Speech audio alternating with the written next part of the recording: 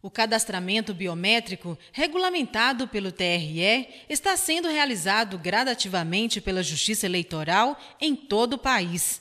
Em Itabira, esse atendimento já acontece. Somente a cidade de Passabém teve a obrigatoriedade de cadastramento. Rubia, o cadastramento biométrico da, região de Passabém alcançou o objetivo? Alcançou sim. É, o, o, o, cadastramento, o cadastramento biométrico de Passabém foi um sucesso tivemos aí uma atingimos aí quase 80% né, de comparecimento do eleitorado. De 1.839 eleitores, é, compareceram 1.458. Né? Então, essa revisão do eleitorado de, de lá teve bastante sucesso. Agora, o cadastramento é para o cidadão de nossa cidade, mas ainda não é obrigatório. Em Itabira, Santa Maria de Itabira e também do Mato Dentro, não é obrigatório, porque aqui está sendo realizada a biometria ordinária. Na biometria ordinária não existe um prazo definido para o eleitor comparecer ao cartório eleitoral.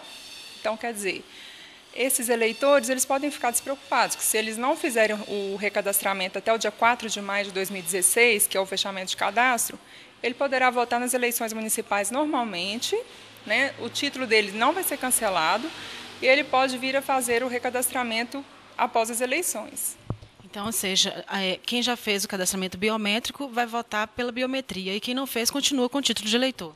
Exatamente. Aquele que se recadastrou vota com a impressão digital, certo? O que não se recadastrou, ele não vai ser impedido de votar também nas eleições. Agora, é importante dizer que a urna eletrônica é a mesma, né? Aquela urna com leitor biométrico ela será utilizada para as duas identificações. O programa de identificação biométrica do eleitor tem por objetivo garantir um sistema de votação ainda mais seguro e democrático, impossibilitando, através das digitais, que um eleitor se passe pelo outro. Qual o horário que o cidadão consegue vir fazer o cadastramento?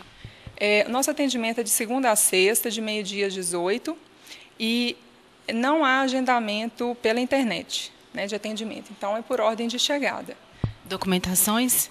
A documentação necessária é comprovante de endereço, né, um documento de identidade oficial com foto, né, e para caso de homens maiores de 18 anos é necessário também o comprovante né, de, de quitação militar.